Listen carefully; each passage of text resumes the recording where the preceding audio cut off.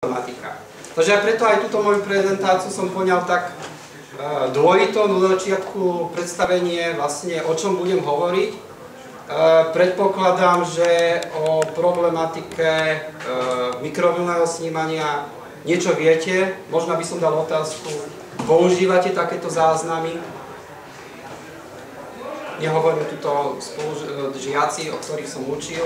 Tomáš Goga, ktorý to má v náplne dizertačnej práce. A ostatní využívate jeden z typov záznamov, ktorý sa venuje tej mikrovlnej časti spektra, plénum. Nie, to znamená, asi som dobre typov a budem hovoriť o takých typoch záznamov, ktoré sú dostupné, sú síce archívne, ale zase ešte pred pol rokom, alebo pokiaľ som to nezadal môjmu diplomantovi Martinovi Ferčíkovi, tak vlastne o týchto záznamoch som prakticky nevedel nič. Takže... Uh, No, uh, toto nie je síce animovaný obrázok, ale budem hovoriť o snímačoch, ktoré sú aktívne. To znamená, sú to také snímače, ktoré sami vysielajú a následne aj sami príjmajú žiarenie, ktoré vysielajú.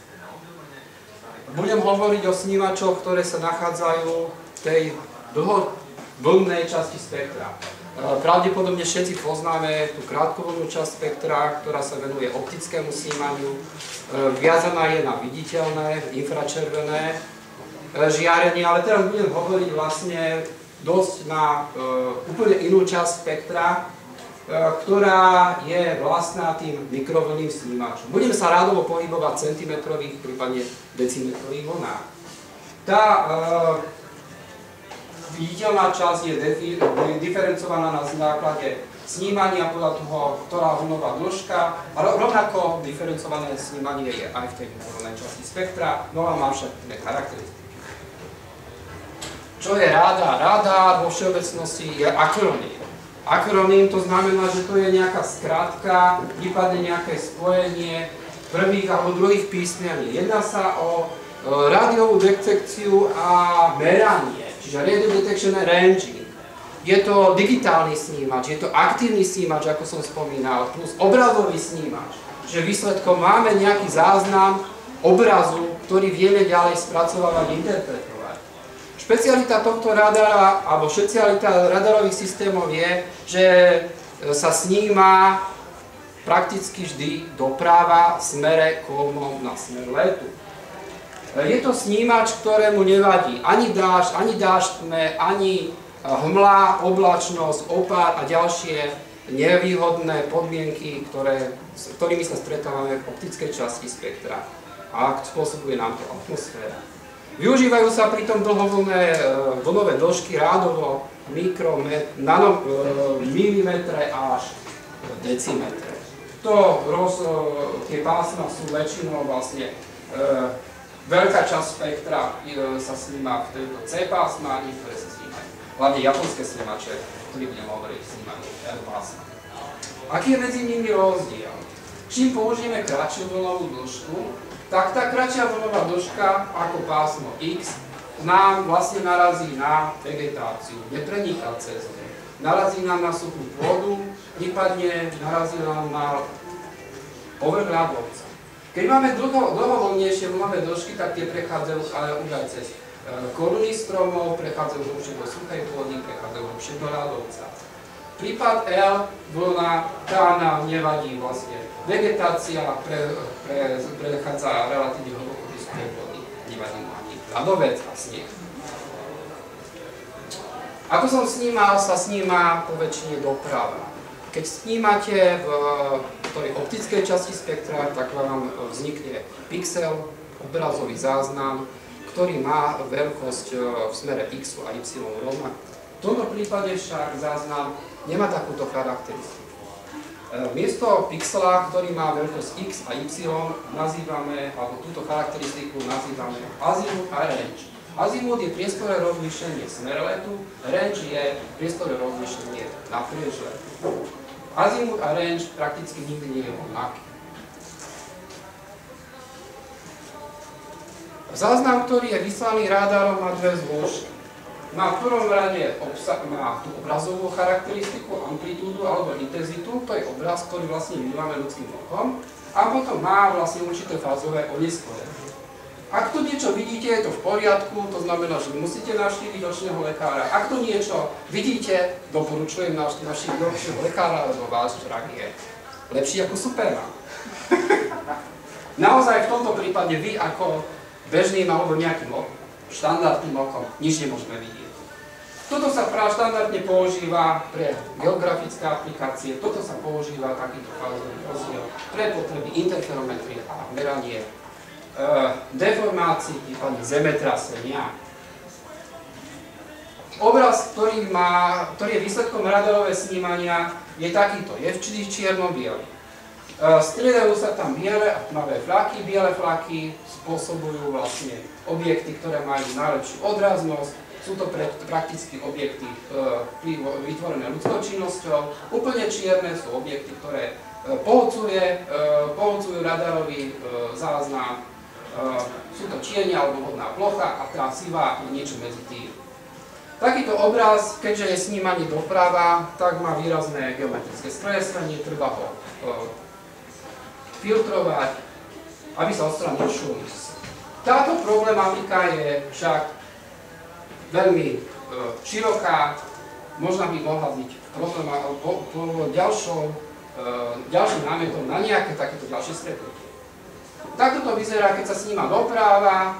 Eh, výsledkom je, že ten obraz má skreslenie, pri dopade žiarenia v smere kolmov je obraz vlastne bledý, keď je, kde signál nedopadol, tak vznikajú radarové tiene.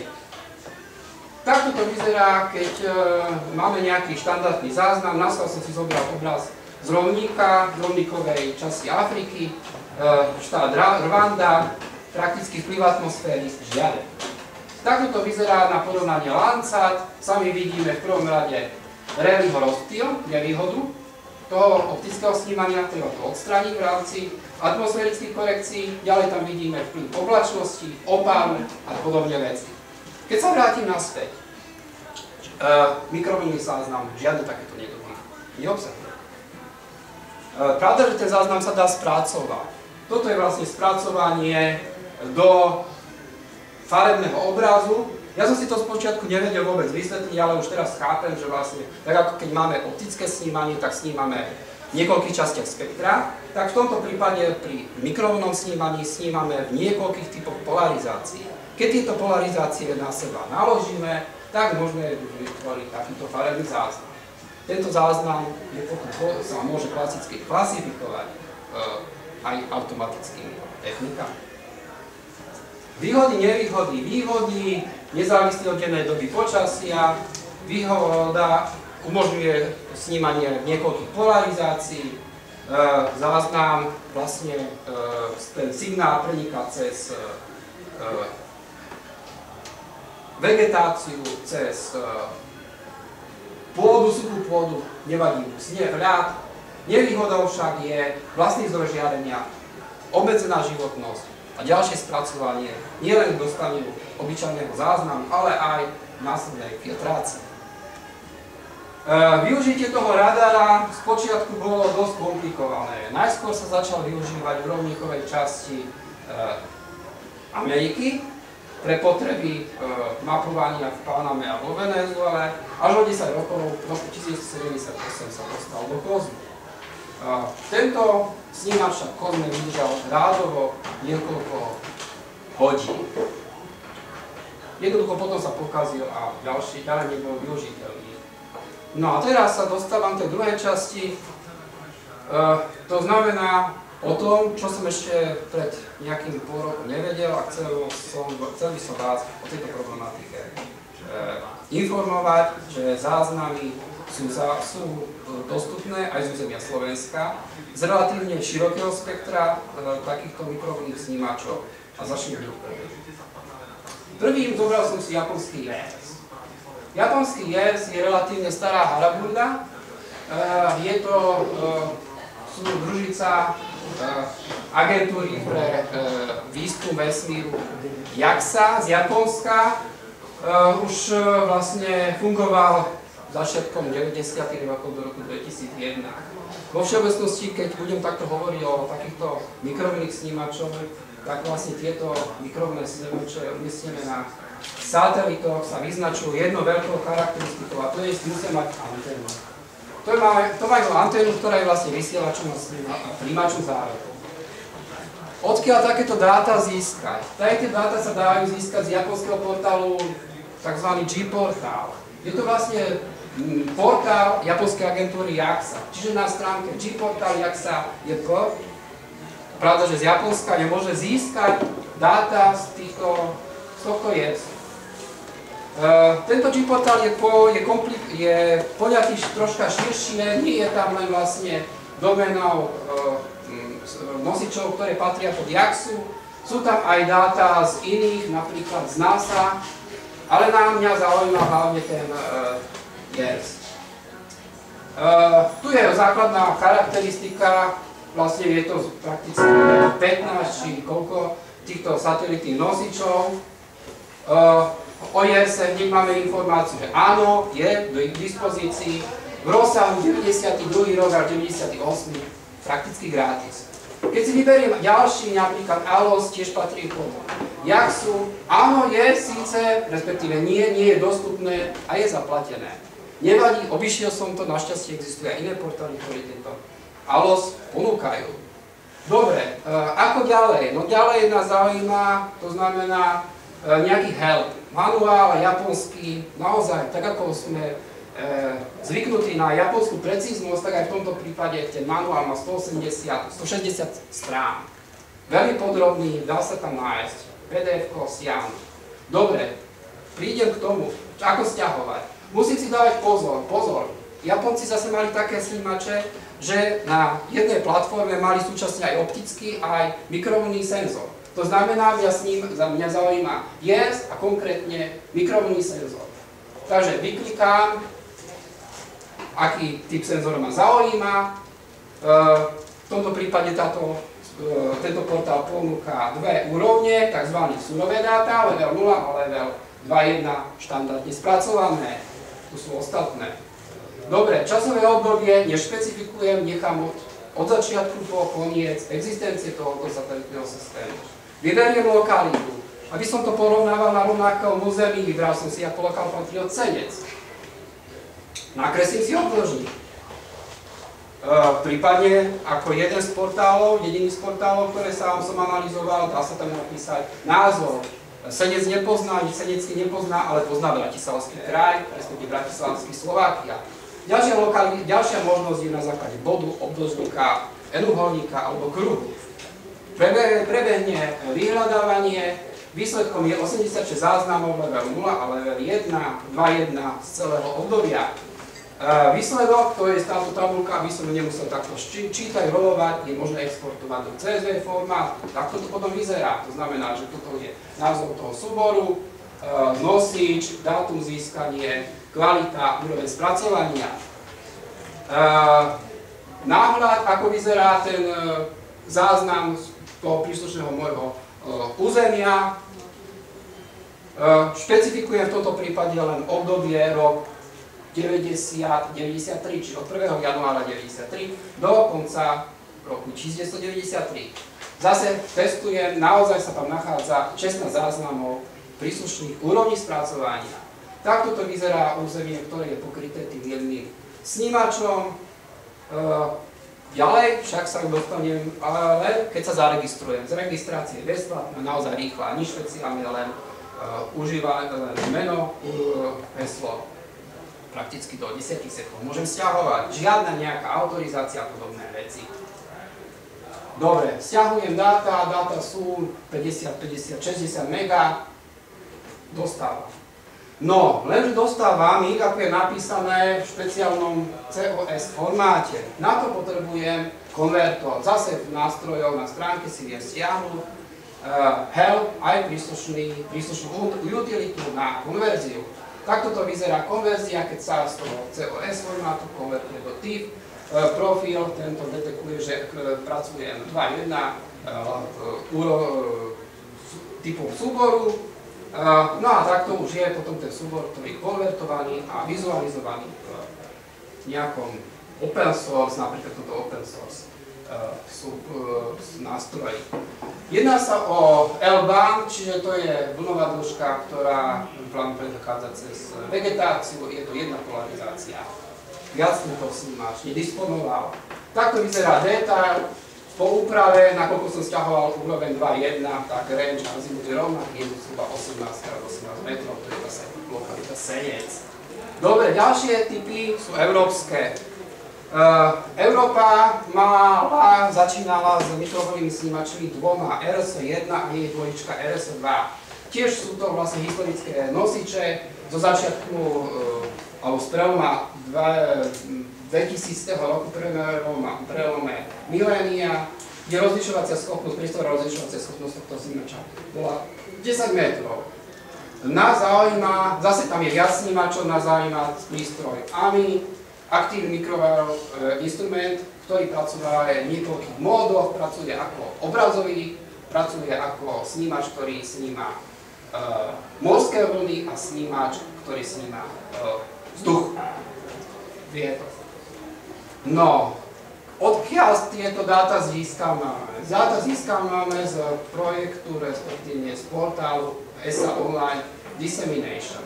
Ja, tam je zase uvedená stránka, uh, to je dvojička uh, RS1 a RS2, obidva sú vlastne uh, Savarové snímače, ktoré snímali, v tomto prípade mňa zaujíma tá obrazová charakteristika, tá vec o vlnách, eh, morských vlnách alebo vzduchových, eh, vzduchu, vetra ma nezaujíma a to je úroveň spracovania. Čiže, či je to ten surový, dál, surový, formát, alebo je to základné spracovanie, alebo je to iné typy polarizácie. Zase manuál k tomu není až taký bohatý ako z Japonska, máme 24 strán, dá sa z toho získať niečo. Ďalšie však potrebujem, na ďalšiu prácu potrebujem presne zadať, čo potrebujem. To znamená, musím sa navštíviť stránku ESA a precízne vyklikať, musím vedieť, z akého typu snímača, aký typ e, e, dát potrebujem a nechať si to odsúhlasiť s spoločnosťou ESA. Trvá to asi dve, dva dní. Výsledkom je potom, že vaša žiadosť je akceptovaná, to je to, čo som si zažiadal, zažiadal som si E, snímať star príslušného e, typu, e, typu obrazového, obrazové charakteristiky. Toto je niečo iné, ale toto ma zaujíma. Čiže je to odsúhlasené, respektíve za všetkým vám príde potom more, more e, mailov, tu možno budete aj vidieť, toto je všetko ESA, ESA, ESA, ESA, ESA, ESA, ESA, všetko ESA, E, vykonali ste žiadosť, e, žiadosť sa spracováva, žiadosť na jeden typ dát je schválená. Prosím o feedback. E, druhý typ záznamu je zase, požiadali ste, spracováva sa, prosím o feedback. Čiže dostávate, treba tie maily potom čistiť. Ale aspoň ESA sa stará. Dobre, pokiaľ to nevytvoríte, tak jednoducho nemáte autorizáciu, dátam sa nedostanete. Ak to však vykonáte, tak potom môžete, môžeme stiahovať. Čiže takto vyzerá ten online dissemination. Toto sú vlastne, toto je rozhranie, ktoré sa týka satelitov eh, RS1 a 2, ktoré sú vlastne eh, v troch typoch eh, ako keby rozlíšení, to je akože prakticky surové dáta, základné spracovanie alebo v takom nižšom rozlíšení. Zase, ako sa dostanete ku konkrétnej lokalite, najlepšie je používať klasické grafické rozhranie, je tu aj nejaký ten e, strom, ale to už musíte vedieť, aký, aké dáta, e, z, aké charakter, z akého územia požadujete. Ak to neviete, tak sa doporučuje použiť takéto rozhranie, tzv. katalóg. Zase si nakreslíte obdĺžnik, vybral som si senec, nechal som, nechal som zhľadať všetko a výsledok mi vyšiel, že za celé obdobie existencie obidvoch satelitov som získ, môžem získať až 405 záznamov. E, konkrétne vybral som si jeden z 2.9.1992, konkrétne RS1, takto to vyzerá, to sú metadáta, toto je náhľad, respektíve ten náhľad vyzerá takto, veľmi jednoducho. Dobre, tuto je Viedeň, tuto tečie Dunaj, Bratislava, tam sú Malé Karpaty, Neziterské jazero ešte je. No a ak ste vykonali registráciu a zažiadali ste si naozaj to, čo chcete stiahovať, tak vám dovolí stiahnuť, tento súbor má okolo pol giga. E, stiahovanie je rýchlejšie pri porovnávaní z Japonska, to, ten prístup na japonský server nie je až taký rýchly, Eh, s týmto SO to išlo relatívne svížne. No výsledkom je, eh, netreba to konvertovať, je to priamo čitateľné v tomto open source uh, nástroji. Výsledkom je uh, takýto, takéto dáta, uh, sú to vlastne dáta prakticky nespracované. Tu sami vidíte, že rozlíšenie v tom azimut a range je odlišné. Je to ako keby natiahnuté v jednom smere, respektíve v tomto smere e, stlačené.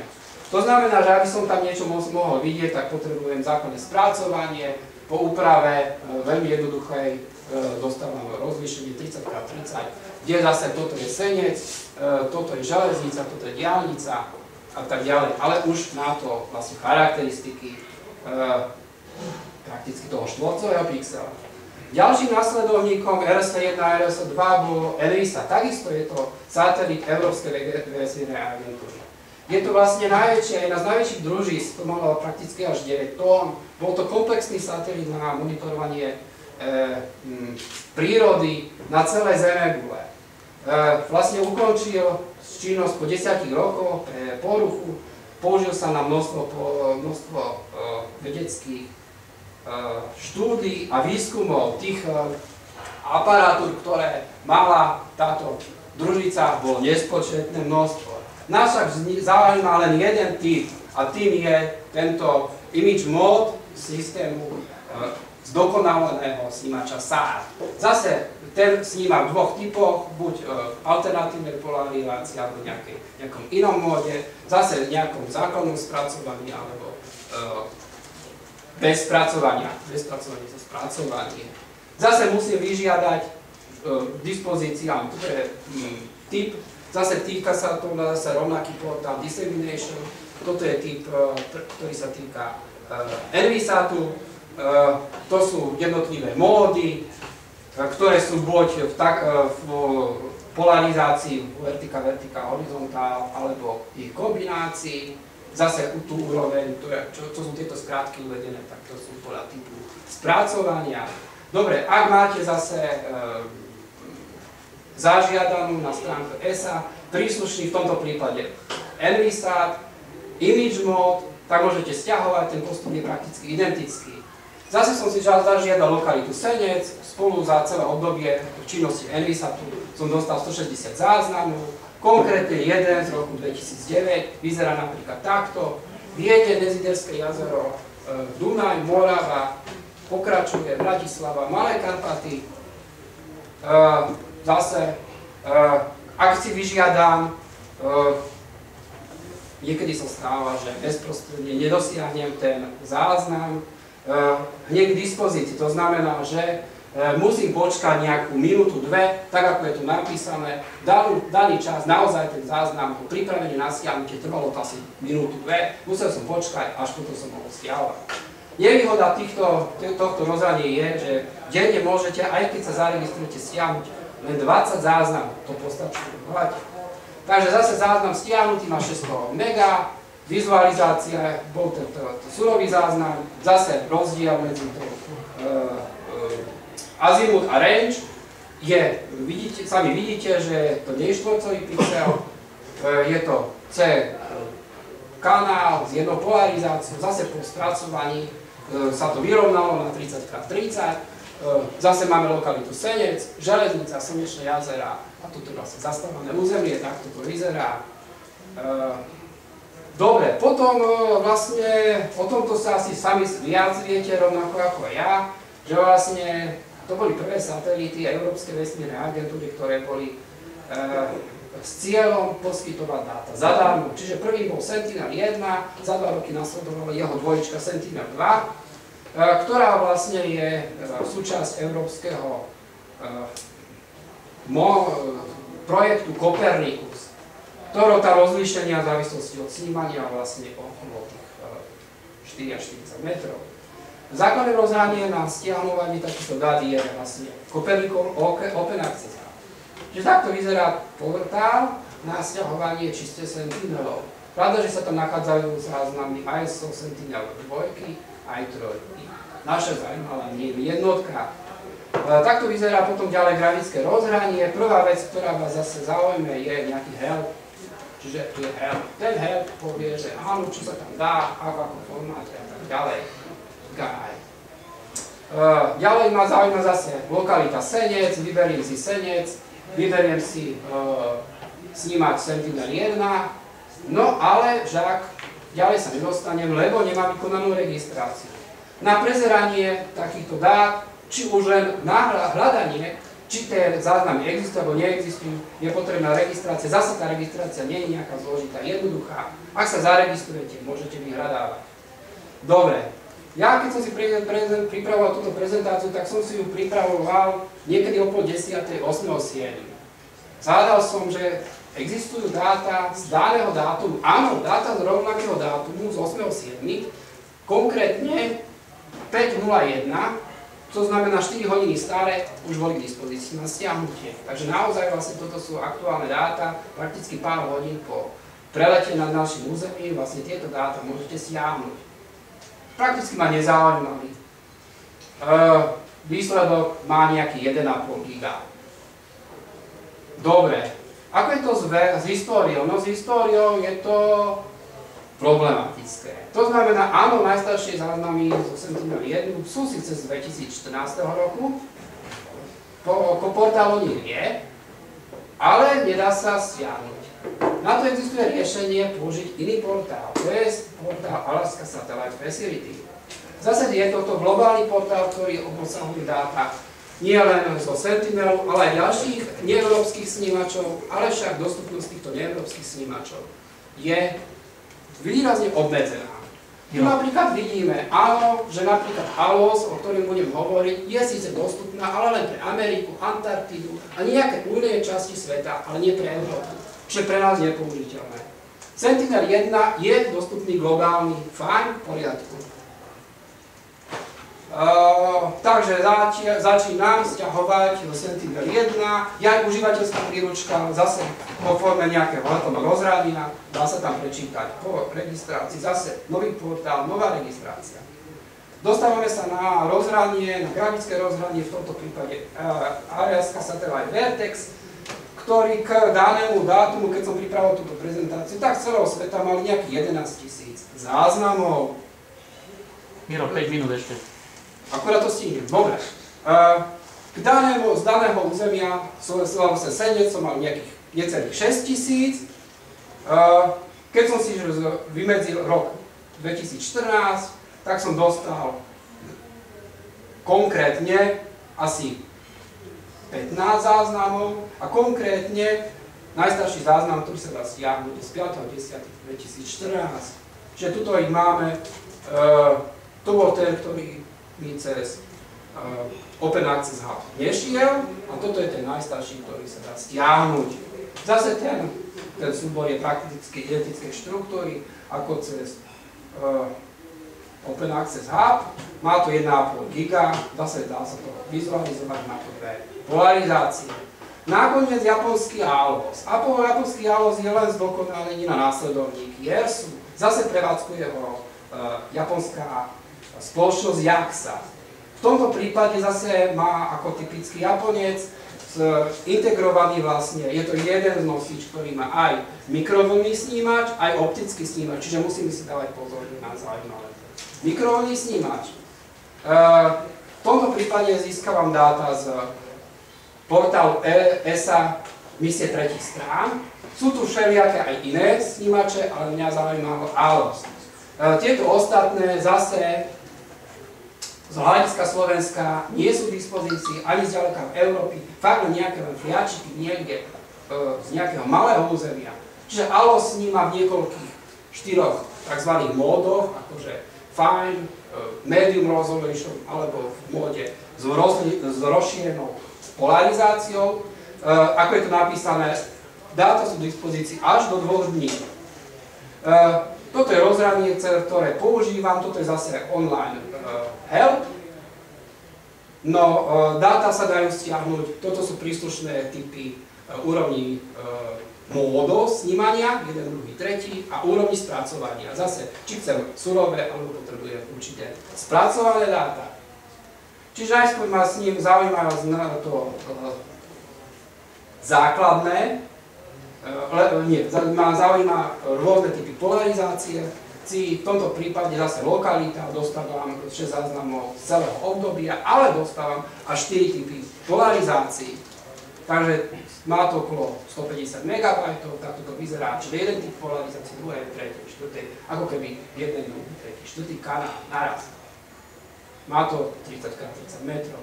V tomto prípade má zaujíma však to najlepšie rozlíšenie, čiže idem e, zase na rozhranie tzv. Fine Peak Single Polarization, vyberám ten istý spôsob, e, z celého obdobia vyberiem príslušnú lokalitu, metadáta, stiahujem, ak nie je k dispozícii, tak do nejakých dvoch minút je k dispozícii, takto to vyzerá 6 metrový L-band ALOSu, čiže je to 6x6 metrov, je tam síce len jedna polarizácia, ale tu už môžete vidieť štruktúru mesta, sídla a dokonca aj tuto si nejaké elektrické vedenie, čiže už slupy. Takže také vysoké rozlíšenie, že asi rozlíši vám aj slupy. No a nakoniec relatívne novinka, ktorú síce musím spomenúť, tak ako ESA má niekoľko katalógov, alebo mala niekoľko katalógov, tak od 16.12. decembra minulého roka sa jednoducho tieto katalógy zjednotili aj s produktami tretich strán. Vznikol tzv. EO katalóg application. Zase help vyzerá následovne, Výhoda, nevýhoda. Výhoda, že súčasne umožňuje vám stiahovať dáta a hľadať dáta naraz z niekoľkých satelitov, naraz, použití jednej požiadavky. Nevýhoda však, že vždy máte obmedzené ročné obdobie. Čiže nemôžete to obdobie predlžovať. Výsledok je presne ten istý, ak si zaregistrovali na SR portáli, tak môžete stiahovať, výsledok je úplne identický, čiže keď som testoval tie dáta, či z tohto portálu, alebo z tých jednotlivých čiastkových portálov, výsledok je ten istý. Takže na záver, tu je nejaká tabulka, že vlastne z hľadiska Slovenskej republiky sme našli že nové staršie sú dostupné alebo sú dostupné z japonskej e, vesmírnej agentúry JAXA, a to je JERS a ALOS. JERS dostupný cez G-portál, ALOS cez ESA misie tretích strán. A satelity ESA, ktoré sú dostupné zo Slovenska, to je vlastne prvý RS 1 a 2, najskôr ako ESA Online Dissemination, neskôr ESA Katalog, EMISAT, nástupca RS1 dvojky, ako Online Dissemination a ESA katalóg a nakoniec e, Sentinel 1, ktorý ešte stále funguje, buď pre aktuálne dáta, aktuálne dáta cez Copernicus Open dát alebo historické staré Alaska Satellite Facilities. Ďakujem vám za pozornosť a tak ďalej.